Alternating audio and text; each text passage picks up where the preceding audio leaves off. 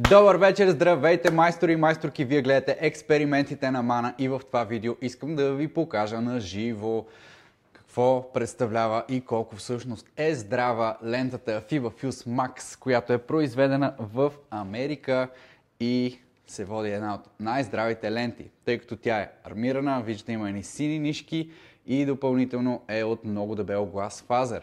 Ще направим експеримент на живо. Това е първа част, приятели. Подготвил съм заготовки. Три парченца гипсокартон. Първо, второ, трето. Ще сложим FiboFuse Max. Ще сложим обикновената FiboFuse, която е гласфазерна лента, стъклофибърна, само че доста, доста дебеличка, както може да видите. Всъщност не знам дали може да видите, на живо това нещо се вижда. И ще използваме също така и добрата стара хартияна лента. Няма да използваме, приятели, стъклофазерна лента от железарията, която, както знаете, се къса цялата и няма никаква здравина. Няма да използваме също и мрежеста лента, тъй като не съм и голям фен. Ще използваме просто най-добрите ленти. Ето, опитах да я скъсам. Къса се, не е много лесно, другата няма никакъв шанс да се скъса. Сега ще работим с един материал за всичките ленти. Използваме ето този материал. Много е важно, преди да работите с готов материал, винаги трябва да го разбърквате. За целта ще използваме бъркалката на Level 5, която може да поръчате още сега от линка в описанието. Патентована е да не вкарва въздух във вашата смес и да можете да разбърквате абсолютно всичко. Виждате колко е дебело желязото, от което е направено, от което е направена самата бъркалка. Има три размера, това е средния размер. С нея може да бъркате от финна шпакловка до бетон, дори ако пожелаете. И издължена е бъркалката, да може да не се прегърбвате, когато бъркате. А пък аз сега имам нелеката задача да ви покажа във въздуха, държейки кофата с другата ръка да бъркам е така и да ви покажа как се разбърква материала. Как не се вкарва въздух в него и го пребъркваме. Хубавото на тази бъркалка е, че освен всичко друго, освен, че не вкарва въздух, тя е направена така, че не може да щупи и вашата кофа. Сваляме я, ще я миеме после. Материалът ни е разбъркан. Не го разреждаме, приятели, по проста причина, че ще слагаме лентата на ръка и когато я слагаме на ръка, не е важно материалът да ни е толкова рядък. Ако ще я слагаме с банджо, окей, само че ние няма да я слагаме с банджо. Използваме професионална шпакла с гумена ръкохватка на Level 5, която е изключително еластична с заоблени ъгли да не къса вашата лента. И ще загладим с мала машка финално накрая. Какво представляват трите ни парчета? Ето сега отблизо ще ви ги покажа. Напълно идентични. Две парчета гипсокартон сложени едно до друго. Не фабрична снатка се едно имаме. Отзад няма профил на снатката, както виждате. И те самите си играят, местят се. Така че този гипсокартон, не знам дали можете да видите вие на живо, когато натискам единия, той се мести свободно спрямо другия. И трите парчета са абсолютно еднакви. Ето го и второто. Ето го и третото. Някой да не каже, ама то едното е по-усилено от другото. Не, приятели, напълно еднакви са. Няма по-усилено, няма по-отслабено. И какво правиме? Взимаме си шпакличката и започваме да си слагаме лентите. Ето тук по средата ще работя, после ще ги премествам. Взимаме си материала, слагаме си дебел слой шпакловка, да сме сигурни, че няма лентата да ни се отлепи. Слагаме си нашата лента центрирана. Започваме с хартиената лента. Хоп, слагаме я, късаме я, заглаждаме я от средата към едната страна. Този материал ще си окачи тук горе. От средата към другата страна. Целта ни е да изкараме отдолу целият материал да няма въздух и да няма излишна шпакловка. Ще пробвам да го държа с едната ръка, с другата да заглаждам, за да го видите. Ето така. Хубаво ни е притиснато всичко. Виждате, излиза въздуха от под лентата. Хоп. И има още малко материал, който трябва да изкарам. Не е лесно да го държа и да го зашпакувам. Това е с хартияната лента. Когато слагаме хартияна лента, трябва да знаем отдолу да няма въздух. Затова е много важно. Хубаво да притискаме тази лента. Тъй като може да остане въздух отдолу и този въздух, приятели, след това да ни изиграе лош шега, лента да ни се надуе. Пишем ето тук отстрани хартия. Да знаеме кое е хартията. Преместваме я хартията ето така. Тук мажем по същия начин материал по средата и слагаме ще сложим фибофюз, обикновената тук. Слагаме я по средата на фугата и късаме. На тези стъкофибърни мрежи, ленти, хубавото им е, приятели, че при тях няма как да се образуват балони, тъй като те се вграждат в самия материал. Отново притискаме хубаво, да сме сигурни, че лентата ще ни е добре притисната. Няма да има излишен материал под нея. Ето я как изглежда. Сложихме и тази. Пишеме фиба. Маркер да знаеме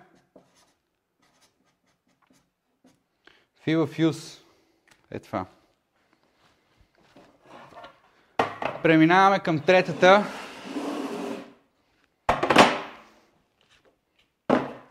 Отново нанасяме материала. Е така по средата. И слагаме Feel Fuse Max. Тук има едно много важно условие при полагането на тази лента.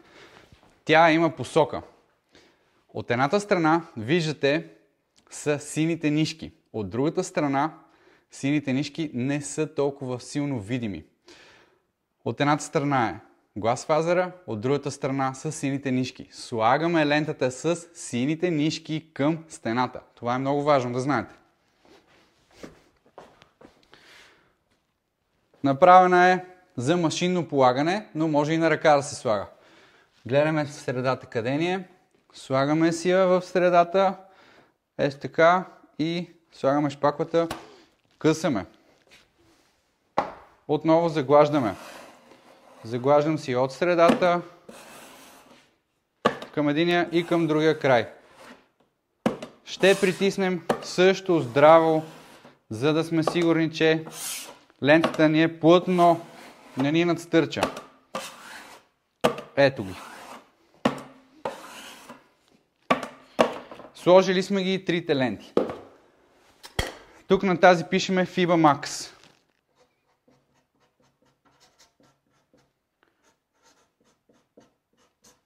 Айде, Fuse ще напишеме. FIBA Fuse Max. Това са ни трите ленти положени. Хубаво е, приятели, това нещо да се оставя да изсъхне и тогава да се шпакова отгоре. Само, че тук в експеримента ние ще подложим всичко на екстремни условия. Няма да чакаме нищо да изсъхва, а директно почваме да шпаковаме отгоре. Взимаме си една мала машка, Flex, Ultra Flex на Level 5, която е с дебелина 0,4 мм и си нанасяме материал, така че да скрием лентата. От едната страна и от другата страна. Когато имате да шпакловате ленти, е много важно как натискате. Въпреки, че парченцето е много малко, това са едни по 20 см парченца,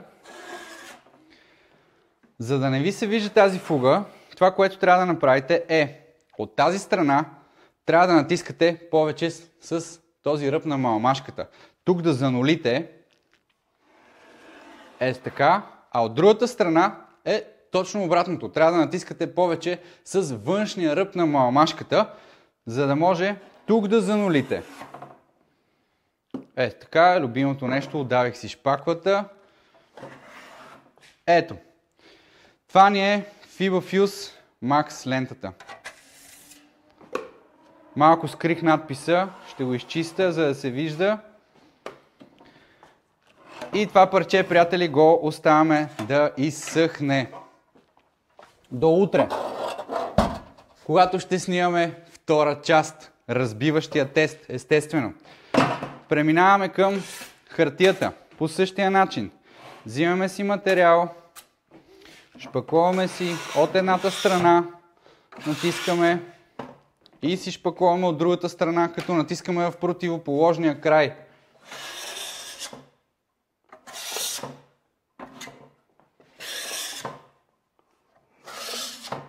Още малко материал ще вземем.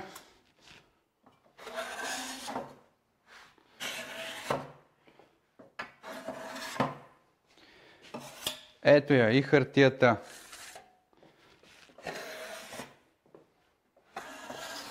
Тук надписа си ни стои, вижда се.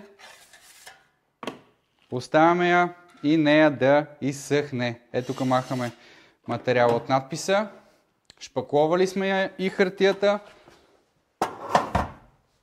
И продължаваме с FiberFuse обикновената лента. Взимаме си материал отново и си шпакловаме. Можем да нанесем в средата и след това притискаме външния край, за да занулим. Ако не притиснем, тук ще ни стане стъпало, което после ще трябва да шкуриме. Затова го притискаме хубаво.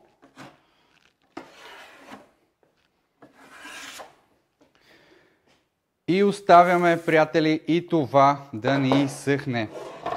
Само, че тук не се вижда надписа, затова ще го изчистиме. Ето така. Нанесли сме си хубав дебел слой отгоре върху лентите. Искам да ви покажа, да много да може да видите ето така. Има си дебел слой шпакловка, занулено си е. Това е само първа ръка. Оставяме го да изсъхне и утре, приятели, това нещо ще го подложим на изпитание. Ще го трошиме, с други думи. За да видим коя лента ще бъде победителя в нашия експеримент. Не забравяйте, споделете това видео с някой ваш приятел, колега или роднина. Нека да гледа и той утре на живо втората част от експеримента, където ще блъскаме и ще трушим и да видим коя лента ще е най-здравата. Това всичко ще бъде заснето на живо, за да може да се вижда в реално време кое е по-здраво.